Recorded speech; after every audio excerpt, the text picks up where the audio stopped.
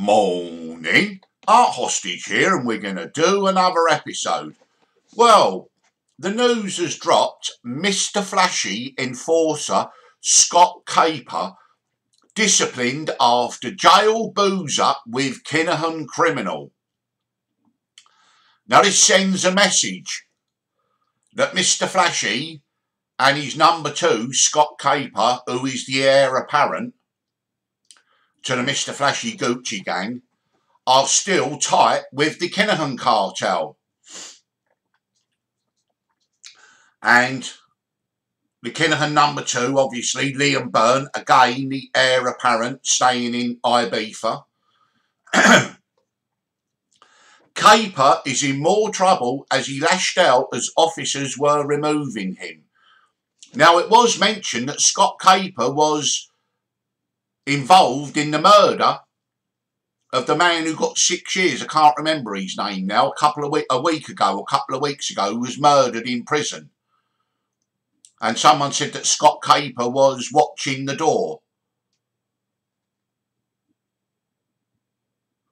But anyway, jailed gangland, gangland enforcer Scott Capper is facing disciplinary proceedings in Mountjoy Prison after he became violent to officers following a prison booze up. Capper, 28, an enforcer for the Mr. Flashy gang, was knocking back contraband whiskies and beer with Kinahan hit team member Glenn Thompson in his cell on C Wing last Friday when they were discovered by officers. when efforts were made to remove the pair from the cell and confiscate the alcohol that had been smuggled into the prison, Capper is understood to have lashed out at officers. The incident led to both Capper and Thompson being placed in close observation cells in another part of the prison. Rumours that a phone containing compromising material was afterwards recovered from Capper's cell are understood to be untrue. Sources say both Capper and Thompson will also face disciplinary proceedings over the smuggled in alcohol, but Capper is in more trouble after he lashed out as officers were removing him. Scott Capper is considered the right-hand man and key enforcer on the outside for the fingerless drug boss named nicknamed Mr. Flashy, Glenn Ward. The 28-year-old who was sentenced to two and a half years in prison last July for stealing 50, a 50,000 euro cash box from a security guard mixes freely with the Kinahan inmates who treat him as one of their own. Glenn Thompson and his brother Gary, 37, both from Finglas, were two members of a three-man hit-for-hire gang that targeted Patrick Patsy Hutch. They pleaded guilty at the Special Criminal Court in July 2019 to unlawful possession of four firearms with intent to endanger life at Belmont Hall Apartments Gardiner Street in Dublin on March 10, 2018. The third member of the gang, a former British Army soldier, Robert Brown, 37, received an 11 and a half year jail sentence for his role in the crime. The three armed men were caught red-handed just 250 metres from the home of their intended target as they were about to carry out his murder. Kinahan cartel linked gangsters such as Capper and Thompson are now the undisputed controlling force within the criminal population in Mountjoy prison. Backed up by Eastern European muscle provided by Polish cage fighter Leszek Sychulik and a number of the killer's countrymen, Kinahan gunman Trevor Byrne, gang quartermaster Graham Gardiner, the Thompsons and Brown wield enormous power over the prison's inmates. Other high-profile inmates linked to the cartel include money launderer Graham the Wig Whelan and Glenn Holland, who is serving a six and a half year prison sentence for possession of guns and drugs. The gang's ranks behind the bars in Mountjoy also include Declan Mr. Nobody Brady, who is being housed in the prison's progression unit. Cartel criminals continue control the flow of drugs into the prison and were responsible for the largest ever consignment of contraband smuggled into an Irish prison in a food truck two years ago. Well, there you got it now.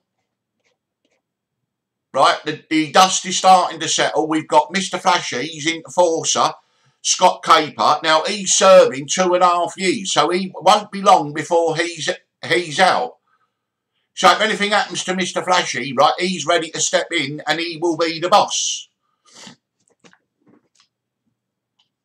Welcome to the new boss, same as the old boss.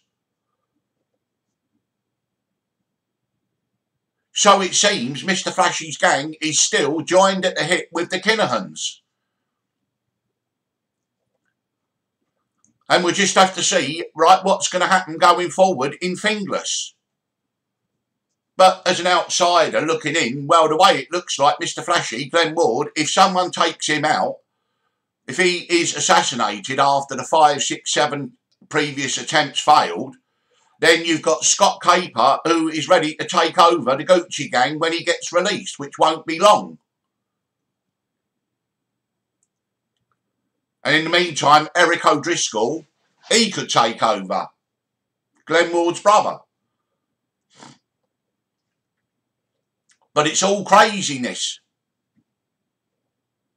So we just have to see going forward. But now all of a sudden they've taken, um, you see what's happened, you see in the jail, they think that they're the number one, the top dogs, top rat, you know, king rat. Scott Capper, right, he's having a drink with um, Glenn Thompson in his cell last Friday, thinks, right, that they're immune. And then the prison officers came in to bust him and he went potty and then now they've been taken out. But as in the article said, there are plenty more other people to step in. So that's the first one we got down. Now, the next one we got is Spanish police detain UK cocaine boss on run with a life sentence waiting for him back home. A convicted drugs kingpin, kingpin has been, de been detained by police in Spain following a major investigation. The drug lord, who has not been named, had been on the run from the UK where a life sentence is waiting for him following his conviction for dealing large quantities of cocaine in Scotland. Since managing to escape the country, he has been hiding out in Spain but was eventually tracked down to a small town in Tenerife. In footage captured by the Sp Spanish National Police, the fugitive can be seen wearing dark clothing, a baseball cap and sunglasses as he walks along a terrace in Arona in Tenerife. Plainclothes cops then quickly intercept him, placing him in handcuffs and putting him in a police car. The team of officers had been monitoring the criminal's whereabouts since the UK's National Crime Agency contacted them back in April to inform them he may have fled to Spain.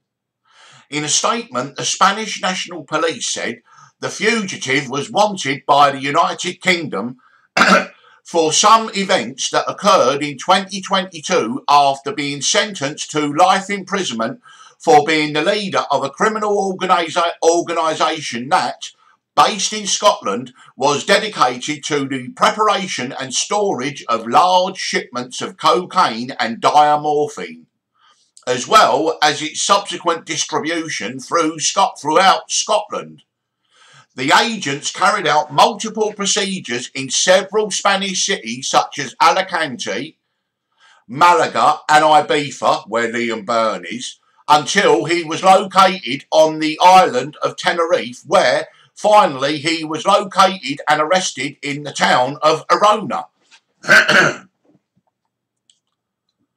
It was recently revealed that Curtis Warren, dubbed Britain's Pablo Escobar, will face strict con conditions upon his release from prison this year.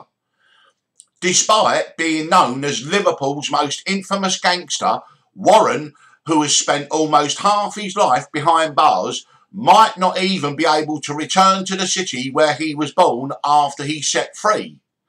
He would also be on the National Crime Agency's list of individuals issued with serious crime prevention orders which limits what Warren can do for five years after his release. According to Mail Online, Warren not only faces a possible ban from Liverpool, but his presence on the NCA's list mean he he'll also be restricted in his ability to buy property, cars, borrow money, make transfers and use foreign or digital currency like Bitcoin. Failure to comply with the above could land Warren back in jail.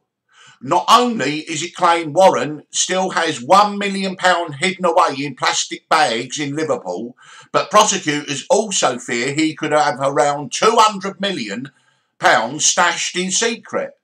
The Liverpool Echo reports that prosecutors are wary of the murky network of his hidden assets through which he could access money made via drug trafficking. Sentenced most recently in 2009 to 13 years in prison after being found guilty of conspiracy to smuggle cannabis, Warren insists he has no money left and has previously not paid a confiscation order that would have seen him leave prison years ago. Yeah, but that was £98 million. so now, right, in this article there is a link the drug lord has not been named had been on the run and there's a link to another story. Okay, and this one is from May of 2022. Police warn not to approach MMA champion who is on the run. Police have warned people to stay away from a mixed martial arts champion who is on the run for a number of serious offences. Darren Towler was found guilty of several counts of conspiracy to supply drugs at, in his absence at Teesside Crown Court. Durham police launched a manhunt after the former cage fighter failed to attend his trial on the 22nd of March 2022. They are now urging people not to approach him if they see him, warning that he is a large man who is a skilled fighter. Towler lifted the UCMMA title back in 2011, but quickly became involved in drug dealing and was caught transporting ecstasy tablets in a Newcastle car pub car park. He was also once found in possession of cocaine and cash when officers pulled over his Citroen Berlingo after officers saw him meeting up with a man in a Toby Carvery pub in Kingston Park. In 2016, he was sentenced to three years and three months after he was found guilty for possession of 12 grams of cocaine as well as 2,000 ecstasy pills and 2,300 pounds in cash.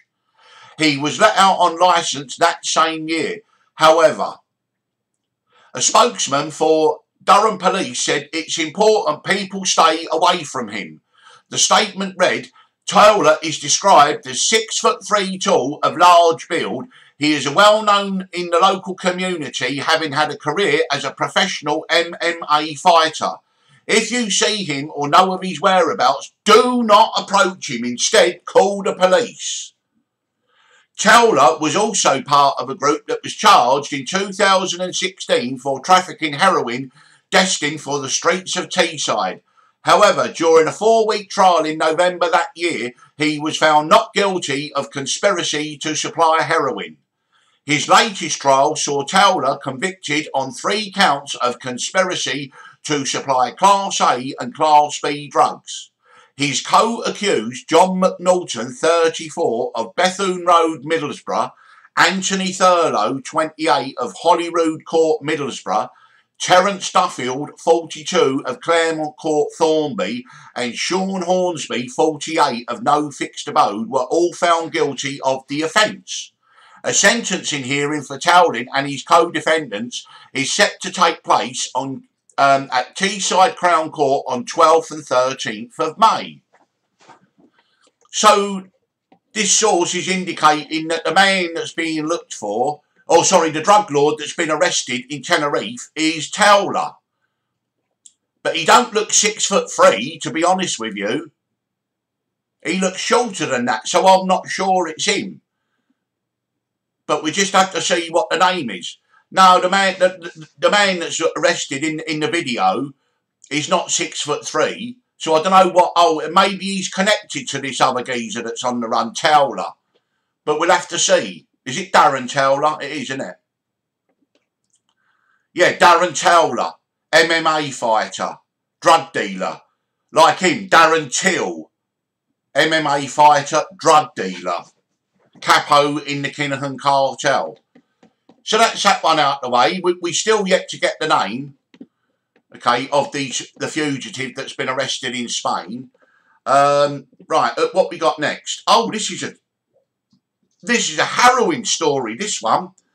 Parents chased carjacker through Phoenix Park after he took car with baby inside. The child's mother and partner, who are both in their 20s, had briefly left the car with the engine running outside their home with two young children in the back seat. Well, that is irresponsible to start with. The parents of a nine month old baby who was driven away when a thief stole the car from outside their home flagged down a learner driver and pursued the criminal as he sped off. Now, a relative of the couple has told how the young parents were frantic with fear when the thief stole their vehicle outside their family home in St Attracta Road in Cabra, Dublin. The child's mother and partner, who were both in their 20s, had briefly left the car with the engine running outside their home with two young children in the back seat. It is believed the thief had been watching the couple and then spotted his opportunity and seconds later jumped into the Skoda at around 7pm on Sunday. The baby was found unharmed afterwards. This morning, a relative of the family told of the terror of the shocking incident. They told the young mother had strapped their nine month old baby in the car and put their seven year old child in another seat. She ran back. She ran back into the house briefly, and the next thing, the older child came running in. The child had jumped out of the car when the man got into the driver's seat. The re- relative said. The parents were frantic, and as the car sped away, they ran down the road after it. There was a learner driver on the road who saw the commotion and got the parents to get into her car, and they followed the man who'd stolen their car but they didn't know which way he went and it took a while to catch up with the car. He went through a red light somewhere and they eventually ended up in the Phoenix Park where the car sped up and went flying over speed ramps. The learner driver couldn't keep up. The young parents were terrified for their baby and thought it was still in the car. But then the young mother got a phone call to say the baby had been found back on the Fassaugh Road opposite a group of shops. It appears the thief had realised there was a baby in the car and pulled in, unstrapped the, unstrapped the baby from the baby seat and abandoned the infant on the path before the young parents had caught up with the car after it was stolen. The baby was left on the path and crying, the relative said, with tears in her eyes. In Fassaugh Road, residents told of their shock when the baby was hurriedly taken from the stolen car and put into the put onto the path beside the busy road close to a junction. Oh my goodness. There were three women chatting on the path, and the next thing the car pulled up, and the man just got out and took the infant from the back of the car and just left it down on the path and sped away. They couldn't believe what happened and ran to the child to mind it, said one resident who lived near where the baby was abandoned. The next thing there was Gardaí and an ambulance at the scene and a lot of commotion. Nobody knew for sure what was going on. It was just an awful thing to happen. No one has been arrested and the car has not been recovered. The incident is being investigated by detectives at Mountjoy Gardy Station in Dublin. A source said the baby was unharmed in the incident and did not need medical attention afterwards. CCTV is being examined in an attempt to identify the thief and establish where he travelled in the car. Well, what an unbelievable story. That could have ended so tragically. Thank goodness it didn't. I mean, can you imagine if, if that car thief hadn't taken the baby out and is going at high speed over speed ramps, could have crashed into some... Oh, my goodness. But this is getting worse. It's lawless in Dublin. It's lawless in Liverpool. They're becoming narco states, narco counties, and Dublin a narco capital of a narco country, Ireland. Unbelievable. Honestly, this is not going to end well, any of this. So that's that one. So there's just a few stories of what's been going on today. And then, of course, we've got um, tomorrow, I think it is, or we've got uh, Liam O'Prey, 21, is appearing in court at Manchester Crown Court with the, on the murder of Rico Burton, who's the cousin of Tyson Fury. And when um, Liam O'Prey was arrested, he was found in possession of cocaine. So was it a drug deal gone wrong? Okay, and now what's happened, Tyson Fury's using his influence in the media to get a positive press and media about Rico Burton, which is natural, I suppose. But in the fullness of time, the full truth will come out. I mean, people are saying he was a peacemaker in this, that and the other. Well, my question's always been, what is a 31-year-old man doing out at 3am in the morning at a bar full of teenagers?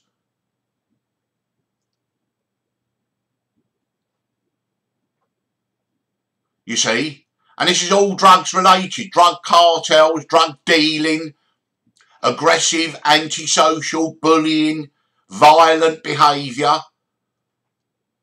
and tragically, Rico Burton lost his life, but when the truth comes out, okay, he is no shrinking violet, he is no angel. We already read about the story where, of the cruelty to the 36 puppies found in the car in Dublin back in 2013, which then the, the charges were dropped. And the Burton family are infamous around Manchester and the Gorman family. They're feared, despised, those families, right? Antisocial thugs, that's all they are. Violent, threatening, aggressive, all involved in drug dealing, all involved in criminality of whatever level, theft, robbery, all of that stuff. You see, and Tyson Fury has got a big decision. Does he want to remain with his so-called family, which are scum? We all know, I mean, there's no dispute on it, really. You know, the world that Tyson Fury comes from and his family, they're low life, right, dregs of society. So does Tyson Fury want to make a clean break, go to the United States of America, cooperate with the United States government against the Kinahan cartel, okay, never look back, never come back to the UK and become a billionaire? Or does he want to stay, okay, right, in that shithole, okay, the northwest of England, right, that um, sewer, okay, mixing with all them low-life dregs of society that you can see on the Fury Fest when he goes round the country, okay, and have the adulation of a very small percentage of people. Well, that's his decision. And I think he's coming down on the side that he is going to flee to the United States of America, take up his career again, become a billionaire, okay, and turn his back on all his family, the dregs of society, and all those scumbag criminals that follow him, and turn his back on the Kinahans, okay, and give evidence against the Kinahans. That's my personal opinion. I've got no evidence, but I just see the way that this is going. And the excuse he'll give is, I can't take it anymore. My cousin was murdered. My career's going to be over with my connections to the Kinahan cartel, and I can't you know, I can't take it anymore. So for immunity from prosecution, I'm going to give evidence against the Kinahans and I'm going to leave the UK for the US, never to be seen in the UK ever again. That's my personal opinion. So anyway, this is going to be Art Hostage episode 325. Okay. We've got Mr. Flashy, number two, in jail. Okay, sends a message that the Gucci gang, Mr. Flashy, are still joined at the hip with the Kinahan cartel. We've got um, the drug kingpin who uh, was sentenced to life has been arrested in Tenerife. The name Darren Towell has been out there, but I don't think it's him. But he was in Ibiza and then he went to Tenerife. Well, maybe Liam Byrne got orders from Dubai to stick him in. You know, all part of the Kinahan cartel's mitigation that they're going to use. They're sitting there, right, sticking in all the rivals over the last few months since April.